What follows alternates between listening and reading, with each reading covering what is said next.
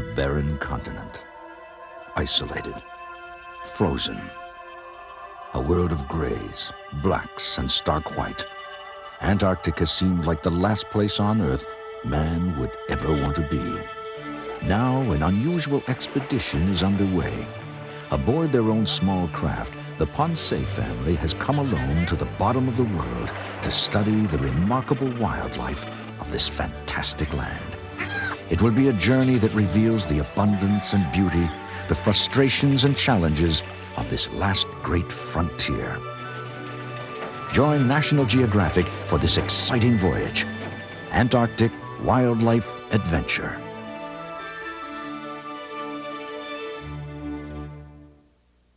What do you do when 1,200 pounds of hungry animal come knocking at your door? Get yourself a strong door and get ready because every year he shows up, migrating through the hostile north, uninvited and hungry. And every year, a small Arctic town plays reluctant host to one of the world's largest and deadliest carnivores. I wake up at nighttime and I can hear the whack, the whack. They're just uh, pounding. It's really loud pounding. Witness the face-off between man and beast and the efforts of science to save them from each other. Join National Geographic for The Polar Bear Alert.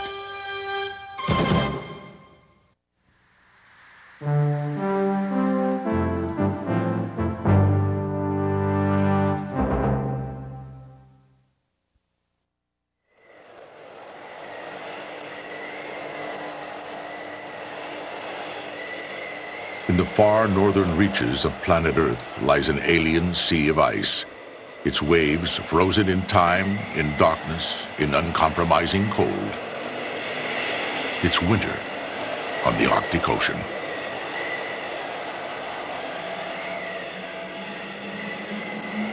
But a great power is returning to conquer this frozen sea.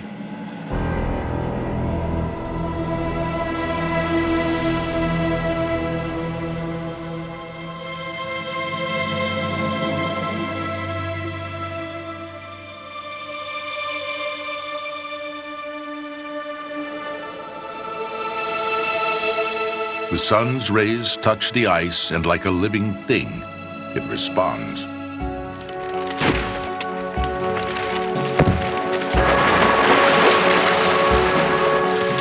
As the ice surrenders to the rising sun, it becomes a world in motion, full of danger and drama.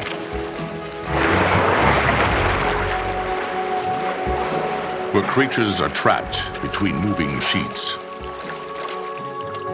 stranded on the frozen waters, caught in the struggle to live in one of the harshest places on Earth.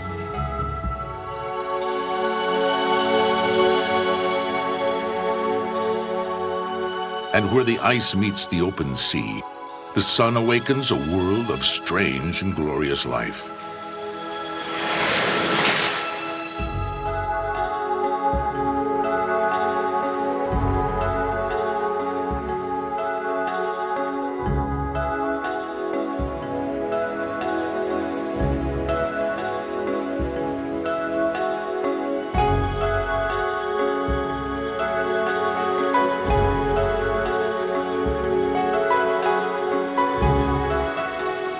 This is the Arctic under the sun, a short, brilliant season of survival, a miracle and a resurrection. At the edge of the ice.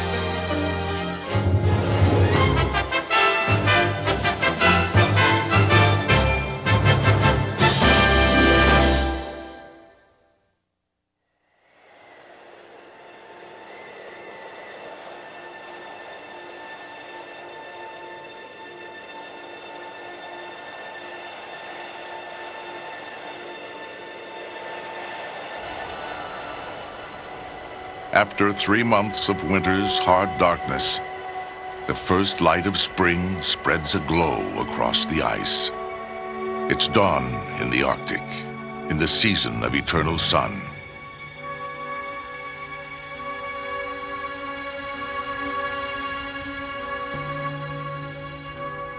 A lone predator stalks the ice in the early light.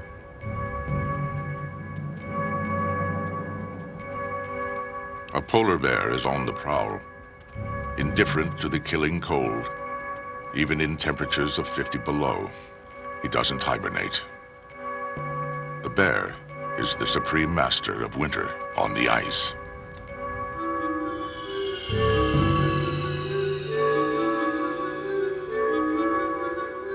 He can grow to 1,700 pounds of hunting power, but his life depends on one creature.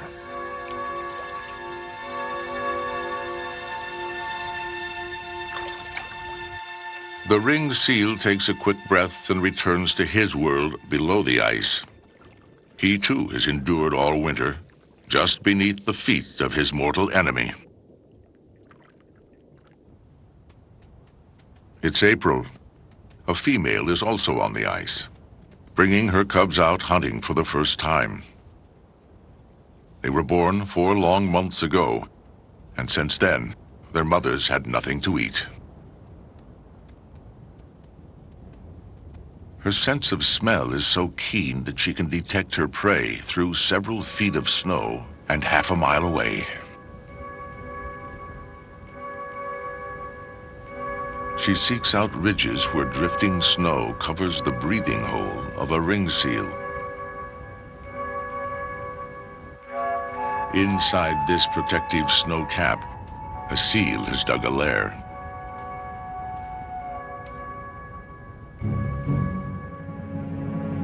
She catches his scent.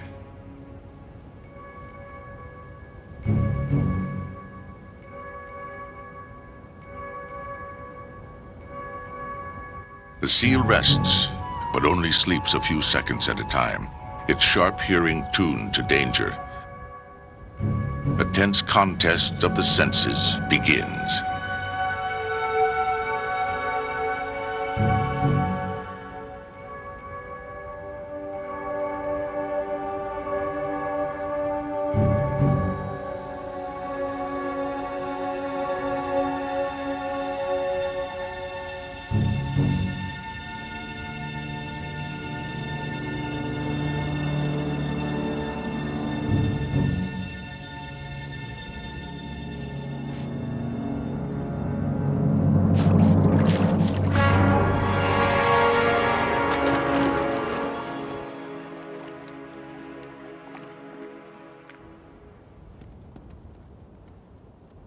Even the top predator on the ice misses 19 times out of 20.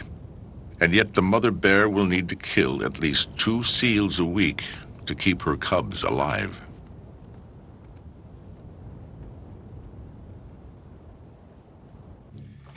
The seal is safe for the moment, but each new trip to the surface to breathe could end in another ambush.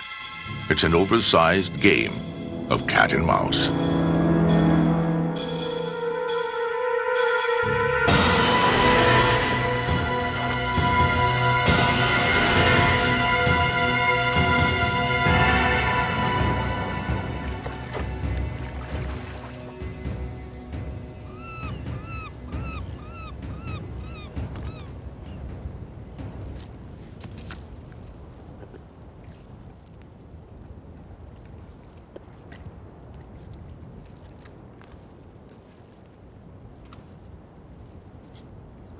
Bear eats mostly the blubber, licking bits of fat from the snow.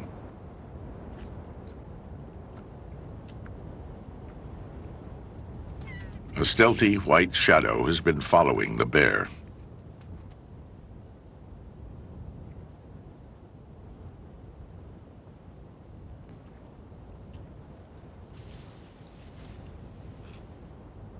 An Arctic fox for days, he's been tracking the great hunter, crossing miles of ice in hopes of leftovers from a kill.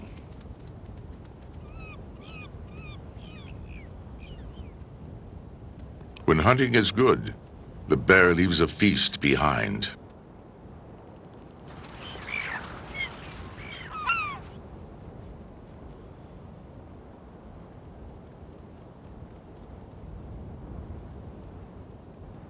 The fox finds a morsel and buries it. A precaution against an unpredictable future.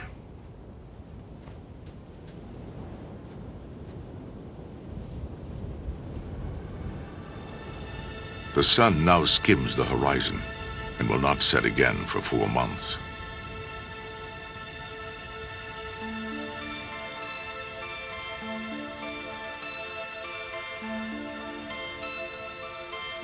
Day by day, it begins to take control of the ice in the seasonal tug of war between darkness and light. But for nearly half the year, the far north is angled away from the sun and sleeps in the dark shadow of winter. Left in the deep freeze of space, the Arctic seas lie covered with six million square miles of ice. As the year progresses, the planet swings around the sun. Light returns to the top of the world.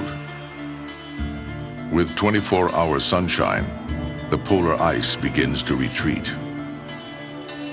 By spring, the ice edge has receded to a tangle of islands in the high Canadian Arctic and to the entrance of Lancaster Sound.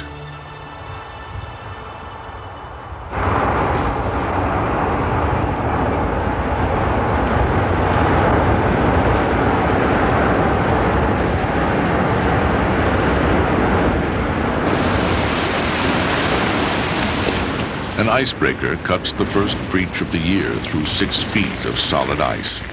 It brings goods to and from villages and mining outposts 500 miles north of the Arctic Circle.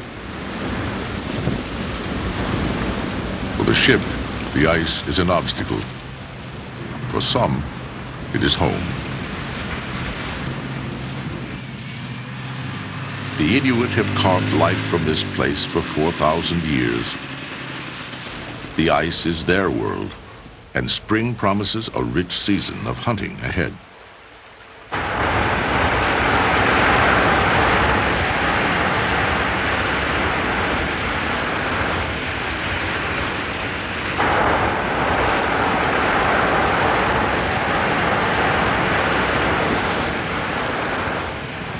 The ice itself has been guarding a secret world.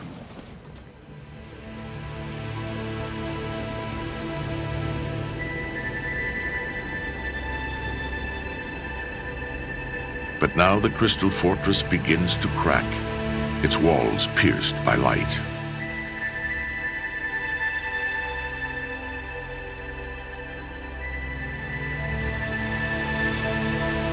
In the shallows 40 feet below, the sun reveals a garden of unexpected color.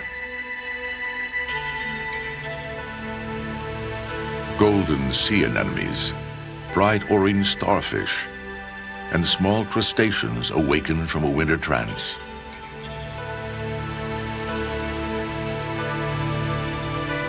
Overhead, the skylight of ice glows green with life.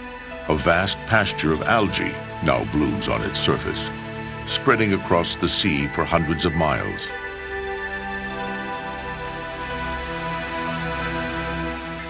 Countless young fish and shrimp-like creatures come here to graze.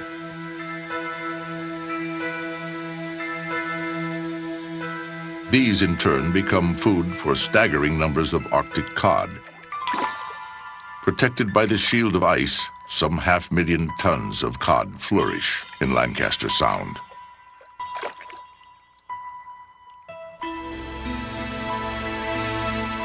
All this abundance is solar powered. As light floods the water, it sets off an explosion of life. Great stores of food can now be reached where the ice meets open water. It's May, and animals begin to gather for this annual feast of spring. Thick-billed murres fly in from the North Atlantic to plunder the cold waters for cod. They flock to Lancaster Sound in the hundreds of thousands.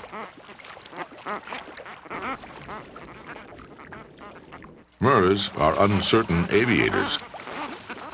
Their true medium is water.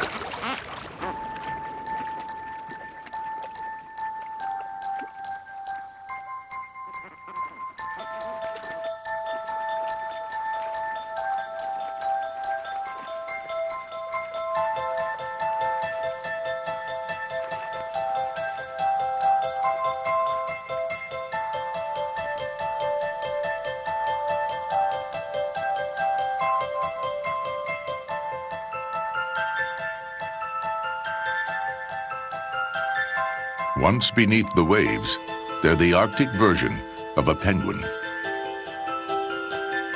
With short, flipper-like wings, they dive nearly 300 feet for three minutes at a time.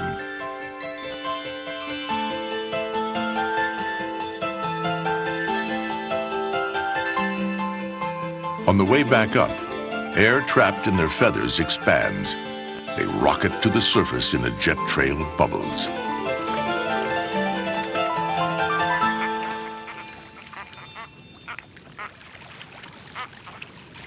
At the ice edge nearby, a polar bear sensed the shifting wind.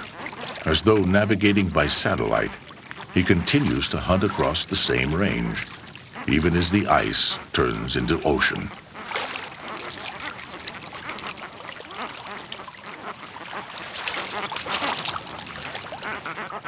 Beneath his fur, the white bear has jet black skin to absorb the heat from the sun when he's on the surface.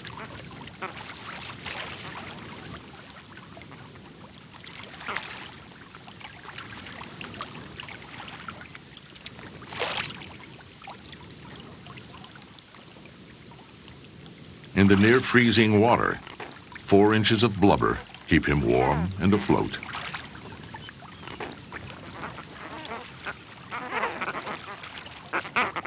He's not above taking a bird or two, but the Murres take no notice and prepare to leave, for they have an urgent appointment to keep.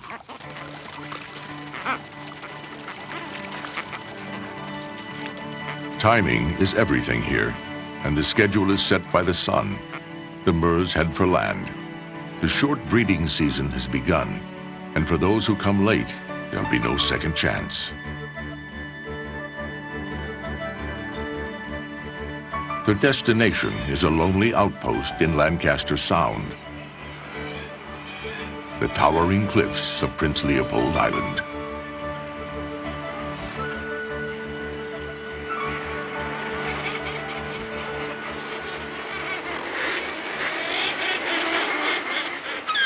Half a million seabirds crowd onto these rocky ledges, 1,000 feet above the sea. The Murres alone number almost 200,000. Vicious fighting breaks out as the Murres battle for the safest nest sites.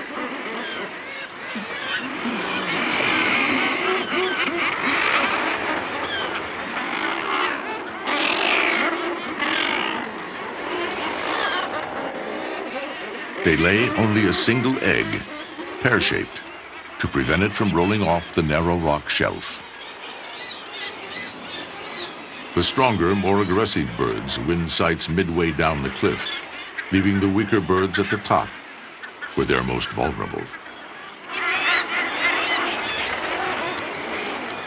An Arctic fox has been stranded here as the ice retreated from the island. His white winter fur has been replaced by a sleek brown coat.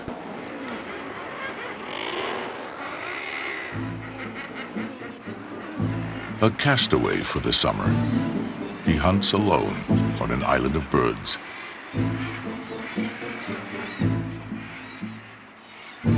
He heads for the cliff, the only place to find food on the island.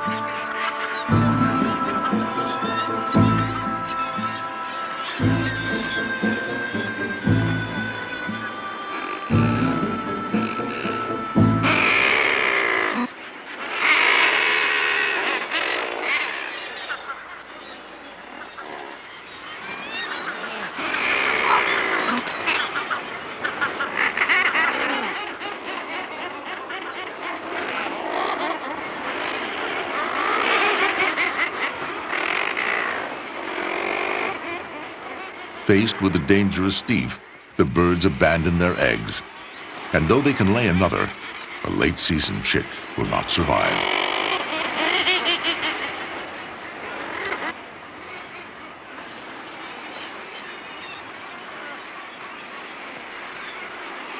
The fox steals all the eggs he can reach, but he'll need dozens each week to stay alive.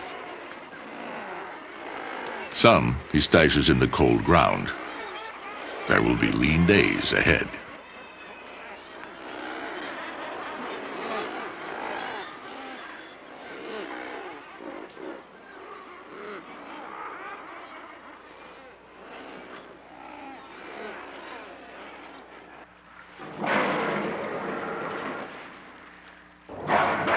It's June.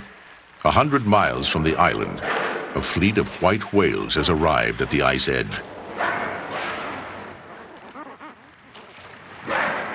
Belugas hunting for cod. The sea is suddenly alive with sound.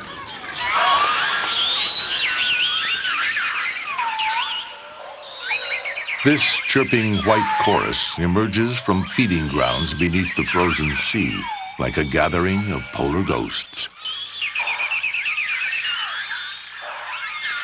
With no dorsal fin to impede their icy travels, these are true Arctic whales.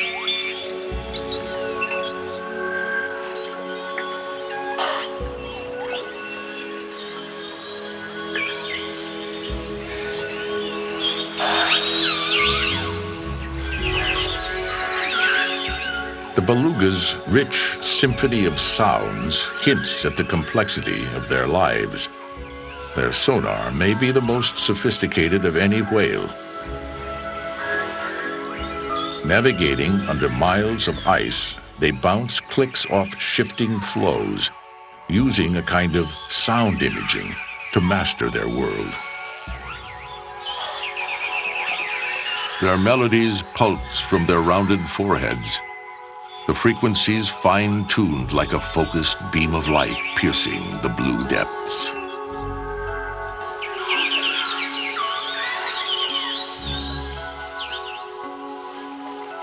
The bonds between them are strong. A mother and calf will swim side by side for three years. Shadowy gray at birth, they only gradually turn as perfectly white as the surrounding ice.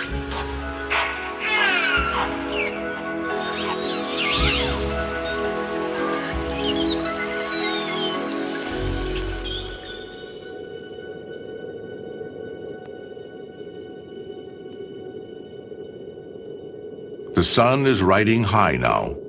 Strong winds from the open sea unleash their power against the ice.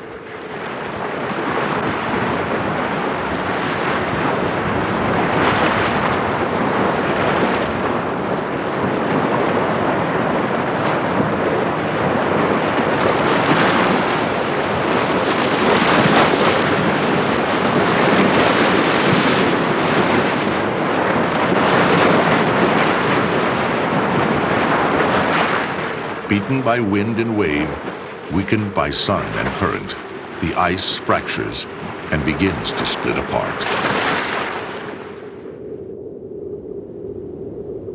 Immense cracks open behind the leading edge of the ice. These leads extend for miles, opening up new feeding areas and hunting grounds.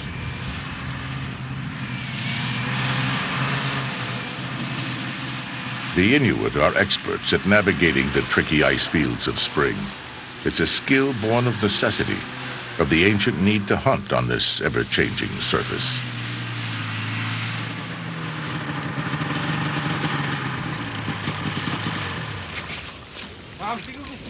Olayoke knows how to read the ice.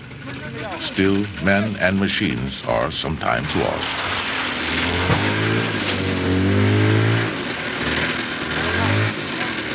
The old days, entire hunting parties could disappear without a trace.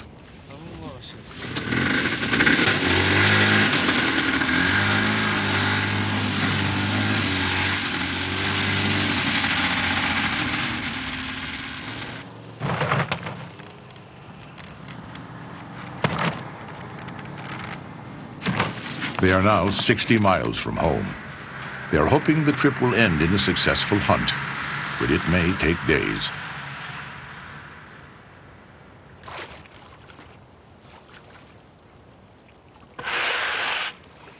Not far away, one of the most aggressive animals in the Arctic falls out to rest. Adult walruses, heavily armored with tusks and skin that is one inch thick. Their skulls are massive and backed by a body weighing one ton. They can bash through nine inches of ice. Out of the water, their only enemies are polar bears and human hunters.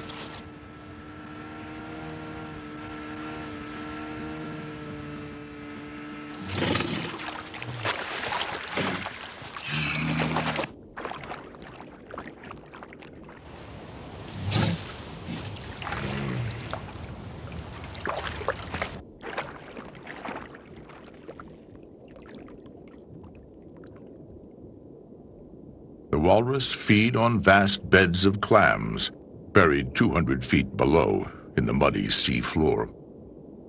Each one can eat thousands of clams in a single meal.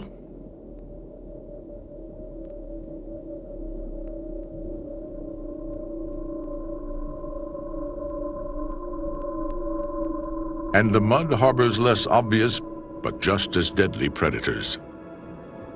A carnivorous snail begins a slow, methodical attack. It smells the clam hiding in the mud and tries to penetrate the tightly closed shell.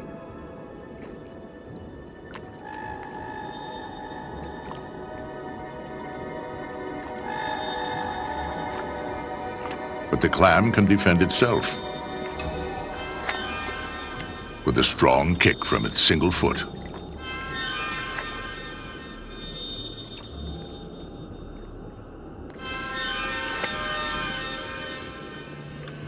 Even stranger creatures patrol the dark ooze. They thrive in the near-freezing waters of the Arctic, feeding on the remains of the dead and on each other.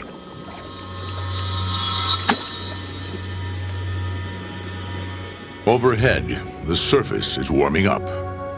Frozen salt water melts first, and from deep inside the ice, salty brine begins to drain away. Plumes of supercool, salty liquid spill downward out of holes in the ice, freezing the waters just beneath. Hollow stalactites build up around the draining brine, some reaching three feet in length.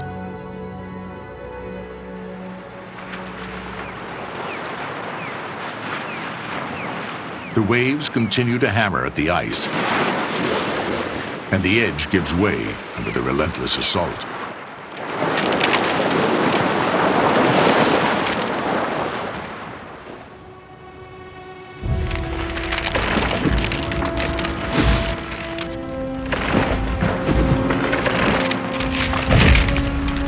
Wind and strong currents push ice floes together.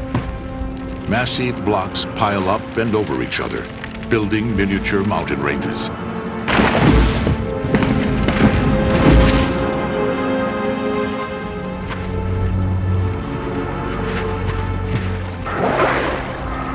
In the wake of the shifting ice, giants come to feed.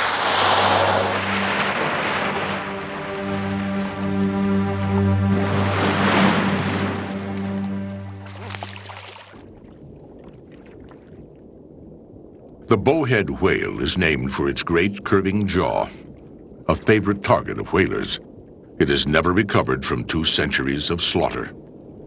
Numbering only in the hundreds, bowheads in the eastern Arctic make their last stand.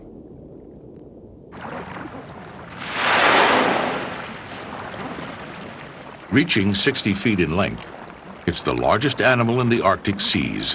Yet the bowhead comes to feed on the smallest. Energized by the touch of the sun, the depths now pulse with millions of minute animals.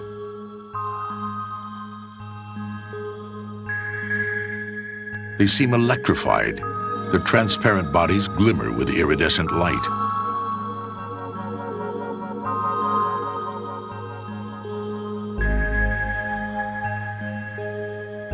More liquid than solid, these delicate drifters are miracles of survival, wrapped in enchanting beauty.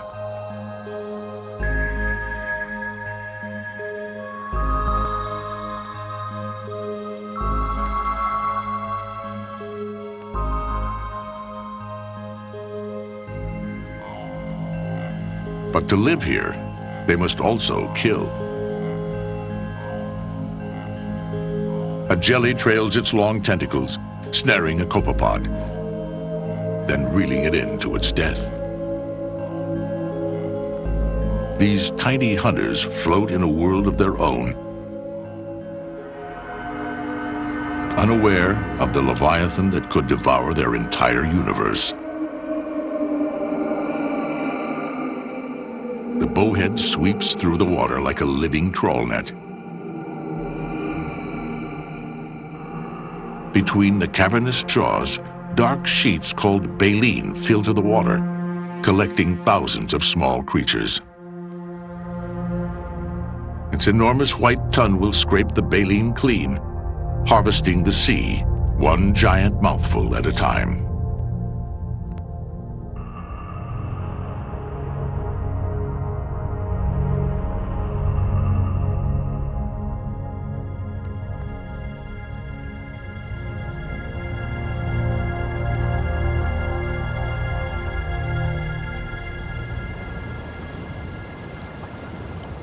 The sun is winning control of the ice, and the surface pools with meltwater. Temperatures now reach a balmy 40 degrees. Dripping water measures the fleeting season, the sound of summer ticking away.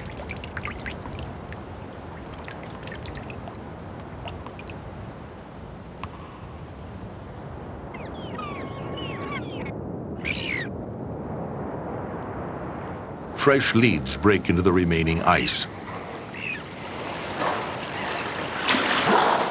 The Arctic's most intriguing creature moves in from the sea. The narwhal, with its ivory tusk, a living tooth up to 10 feet long.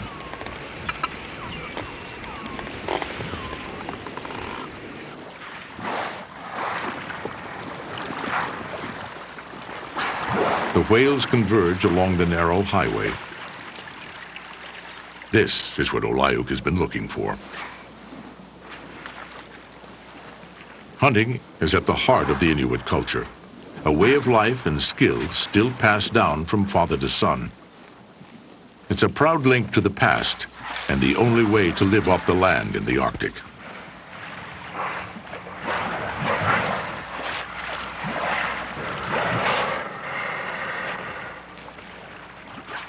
Today, the Inuit are still allowed to hunt whales, but their take is strictly controlled. Yet Olayuk remembers the not-so-distant days when hunting meant the difference between life and death.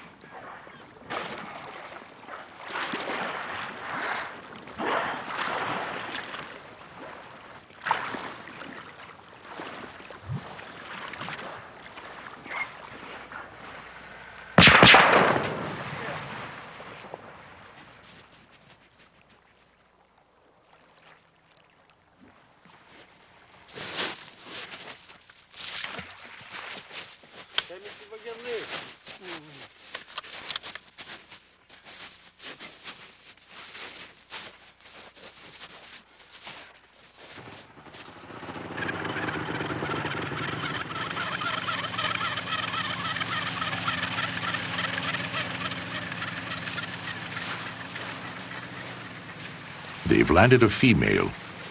Only males have a tusk.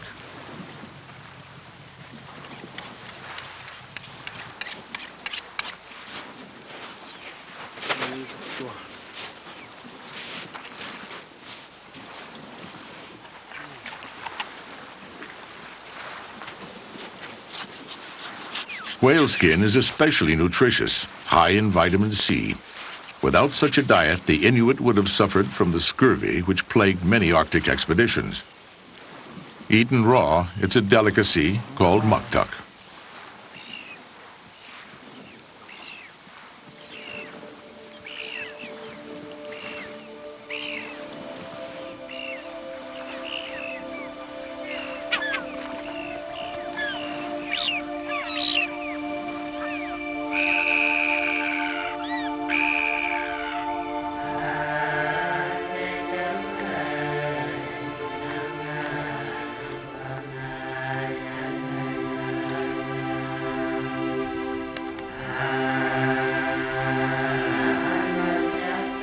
In the still twilight of midnight, the narwhals joust, a slow, stately ritual of mythic beasts.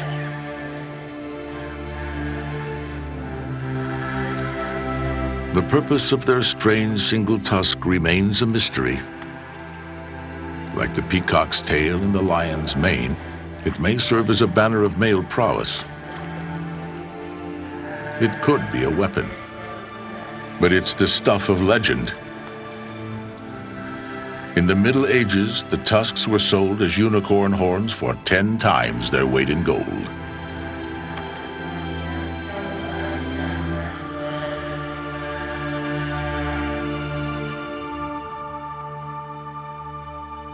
The sea ice is flooded now. Although beneath the water, the ice is still several feet thick.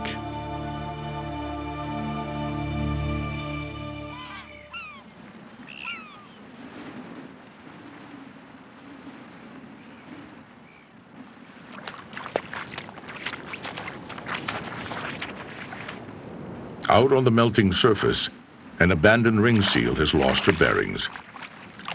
She has wandered away from her breathing hole and cannot find her way back.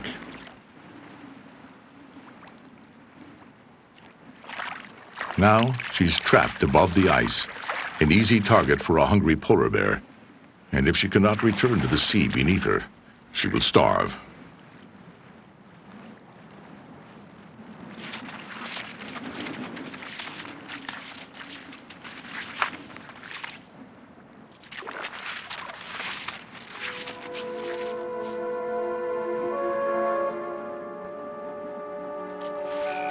Young seal is now exhausted. But luck finally leads her to a hole in the ice.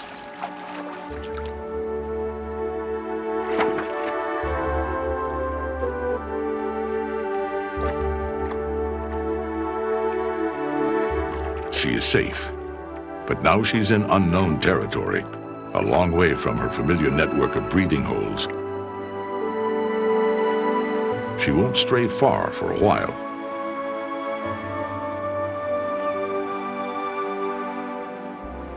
All around her, the ice is changing. The pasture of algae that once blanketed the surface has sloughed off and joined together in flowing ribbons of green.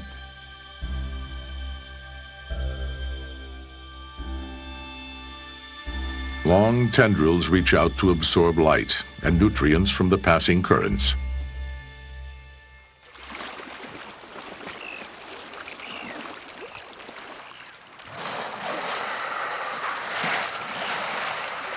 New lead is opened in the ice, and a pod of narwhals comes streaming into the crack. They usually travel in small numbers, but when fishing is good, hundreds may come together. As they enter the crack, these specialized hunters take a risk. The opening unlocks a rich store of Arctic cod, but the ice is still shifting Without warning, the lead closes off.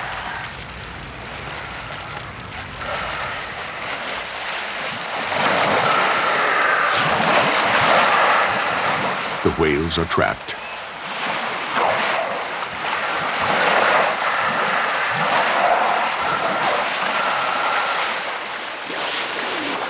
The entire pod must surface to breathe in this small pool of open water. They bob up and down in a crush of bodies, careful not to wound each other with their tusks.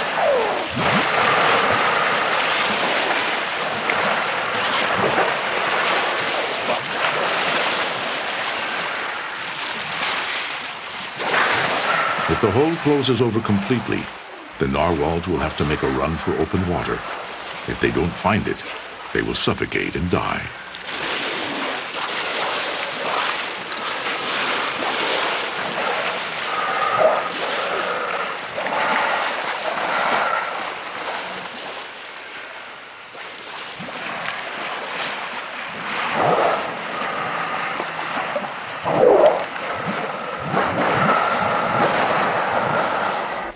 Then, suddenly, as unpredictably as it closed, the lead reopens. And the whales are free.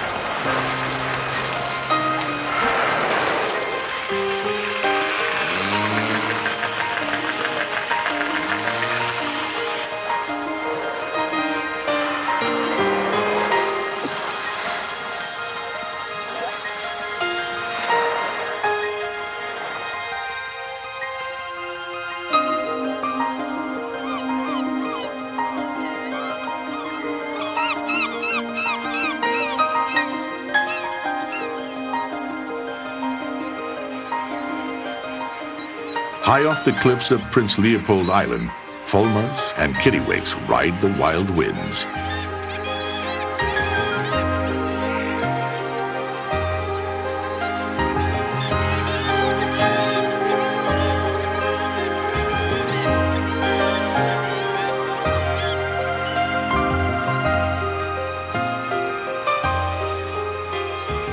Even gusts of 40 miles per hour present no problem for these aerial acrobats. Landing is the tricky part.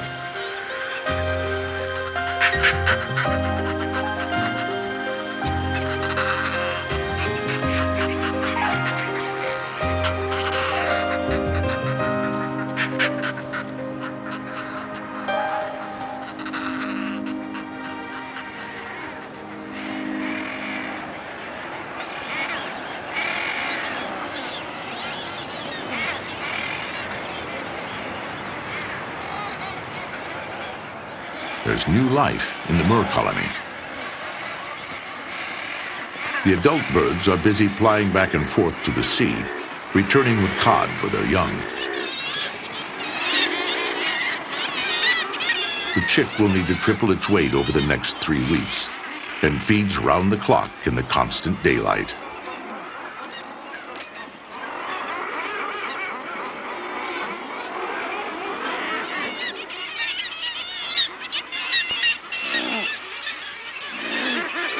The top of the cliff, Glaucous gull chicks are hungry too.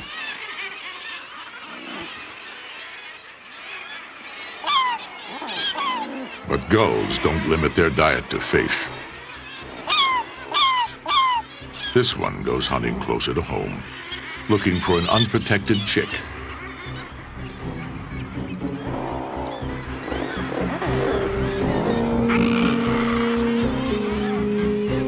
Returns with a grisly catch.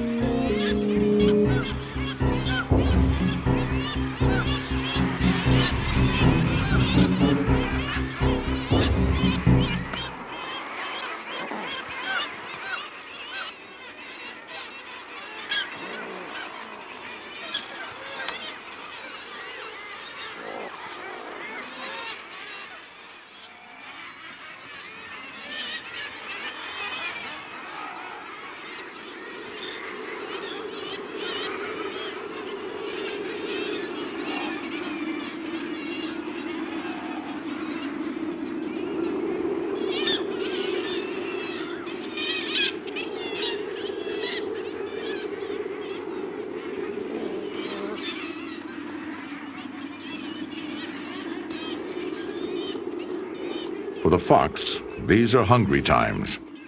Egg laying is over and the chicks have hatched out of his reach. He has only his store of buried eggs to see him through.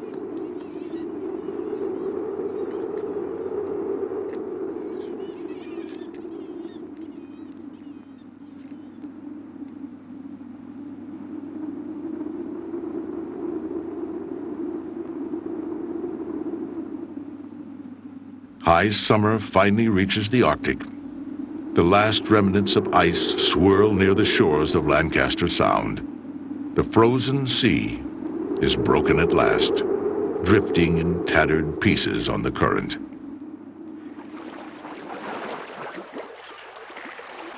Moving inshore are the gleaming white shapes of belugas. They return by the hundreds to the same inlets they frequent each year.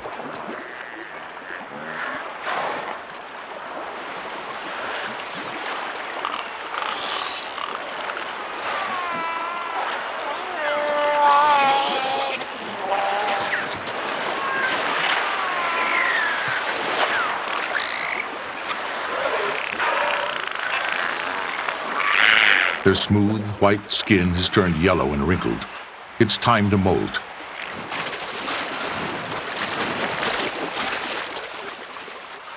On the rocky bottom of the shallows, the whales scrape off their old, weathered skin with a rejuvenating rub.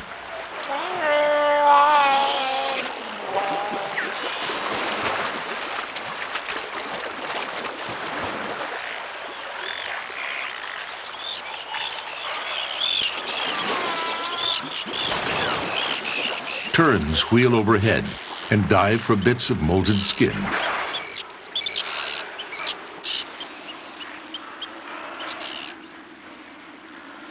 As the tide turns, the whales retreat into deeper water.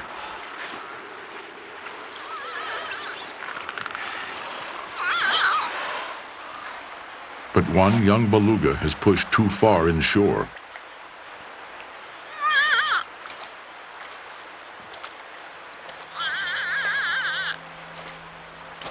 The benevolent sun now becomes his greatest enemy. He could easily sunburn, and out of the cold water, he could overheat.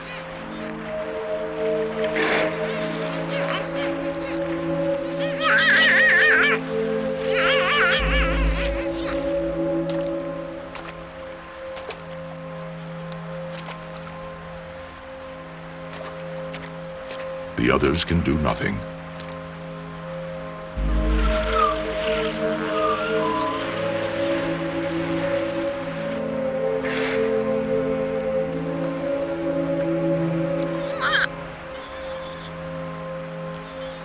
The rocks have cut his sensitive skin.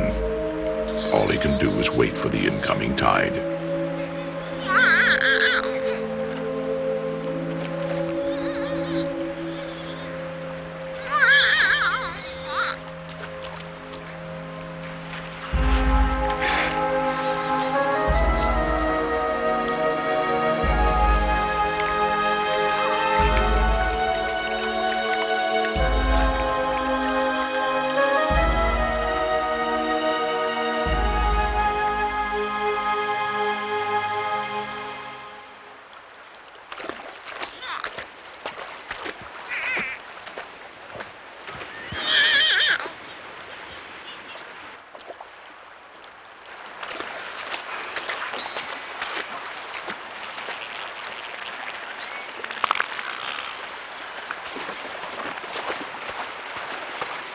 With one last surge, the young beluga recovers his freedom.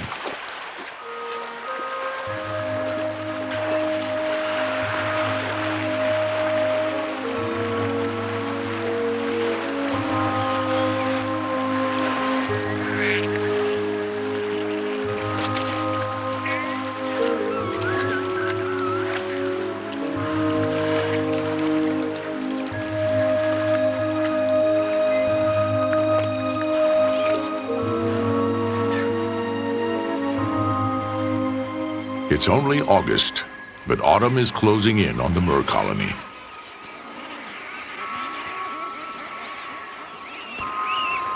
The chicks are just three weeks old, still unable to fly.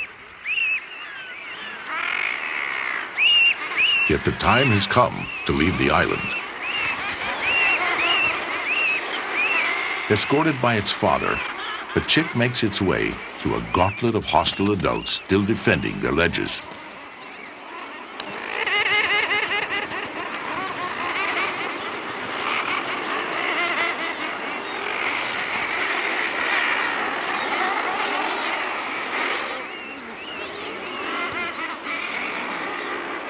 Driven by irresistible instinct, the chick prepares to make an incredible leap from the thousand-foot cliff.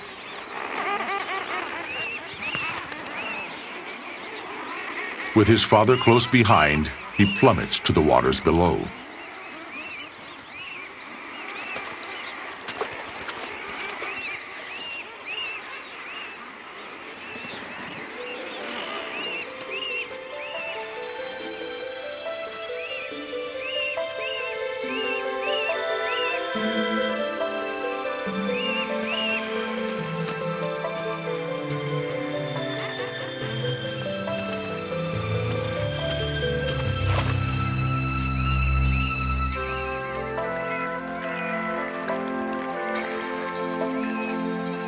The next eight weeks, they'll drift southward as the young Murres grow the feathers they'll need to finally take to the air.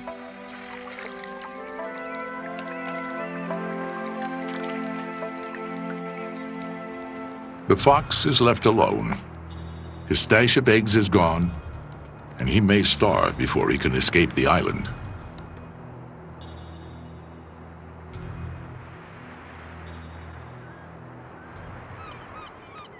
The moon now looks down on Lancaster Sound, the cold, pale face of the coming winter.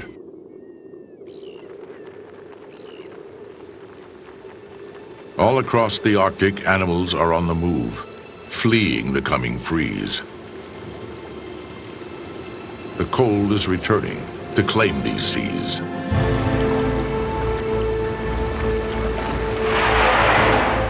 The great bowheads depart as their food supply begins to dwindle in the fading light.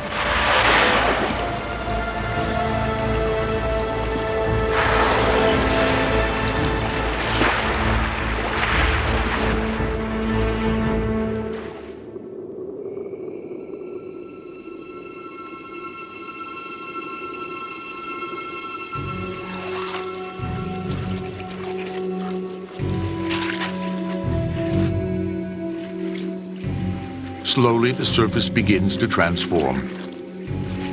Crystals congeal into grease ice, then thicken into pancake ice. The season of the sun is over.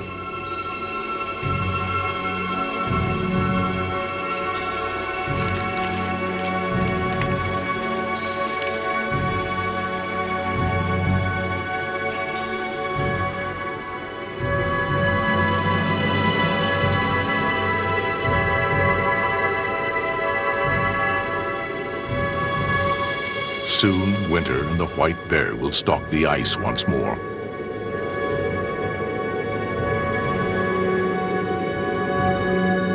Cold howls across the empty expanse of frozen sea. Darkness deepens. The bear settles in to stay.